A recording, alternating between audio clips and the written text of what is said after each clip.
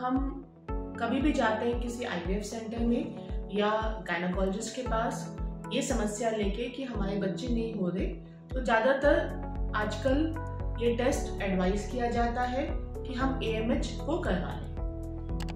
ए एक blood test है, जो महीने के किसी भी दिन में करवाया जा सकता है और इसके लिए खाली पेट होने की भी आवश्यकता नहीं। ए हमें बताता है कि हमारे अंडों की क्वालिटी और उसकी क्षमता कितनी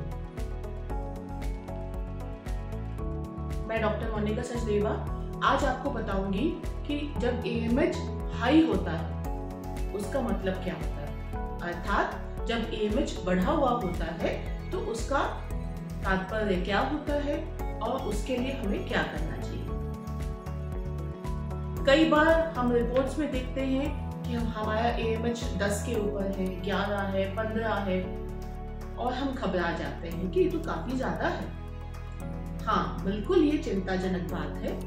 एम एच ज़्यादा, छह से ज़्यादा अगर होता है तो वो पीसीओडी की तरफ़ ऑन पॉइंट करता है। पीसीओडी का मतलब हमारे अंडों में बहुत ज़्यादा अंडे हैं, और कई बार कोई एक अंडा बड़ा नहीं हो पा रहा और हमें टाइम पे मेंसेस नहीं आ पा रहे हम सबको पता है दोस्तों कि अंडा बढ़ता है, फूटता है, तभी प्रेगनेंसी की संभावना होती है। तो अगर हमारा अंडा ही नहीं बन रहा टाइम पे मेंसेस ही नहीं आ रहे तो प्रेगनेंसी कैसे आएगी?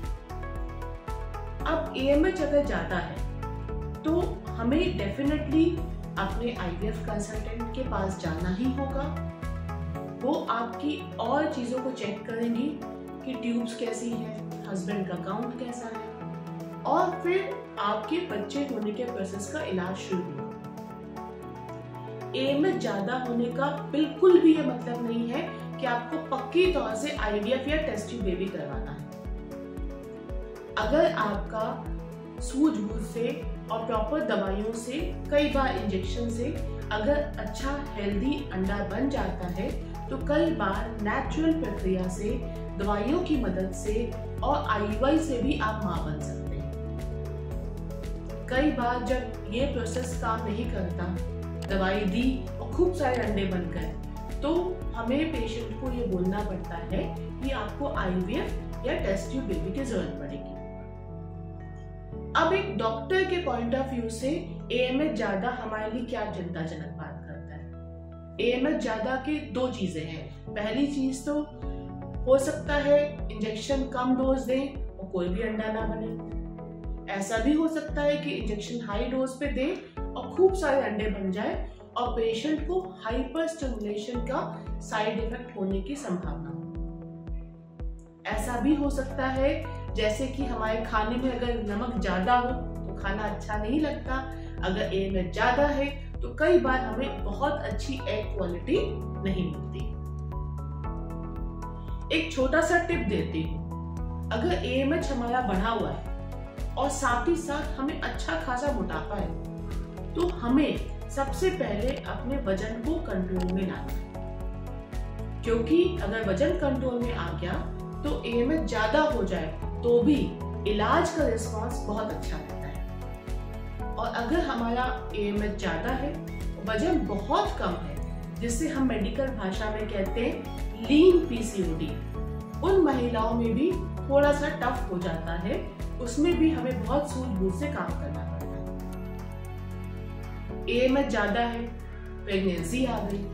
ऐसी महिलाओं को डायबिटीज़ प्रेगनेंसी में होने की संभावना बहुत होती है, इसलिए खाने पीने का टोटल कंट्रोल होना बहुत ज़रूरी है प्रेगनेंसी के दौरान भी। और साथ ही साथ शुगर का टाइमली चेकअप भी बहुत ज़रूरी है। तो आज मैंने आपको बताया कि एम ज़्यादा है तो उसका क्या सिग्निफिकेंस है? एक डॉक्टर के लिए क्या इंपॉर्टेंस है? एक पेशेंट के लिए क्या इंपॉर्टेंस है?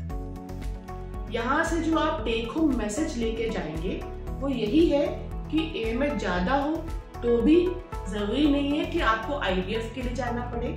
आप दवाइयों द्वारा प्रेग्नेंट हो सकते हो। ए ज़्यादा है तो आपको अपने वेट पे ध्यान देना है। आपका वेट आपको कंट्रोल करना है। डाइट और एक्सरसाइज से ए ज़्यादा है तो प्रेगनेंसी के दौरान अपने शुगर के टेस्टिंग को बिल्कुल भी इग्नोर नहीं करना है। नमस्कार दोस्तों।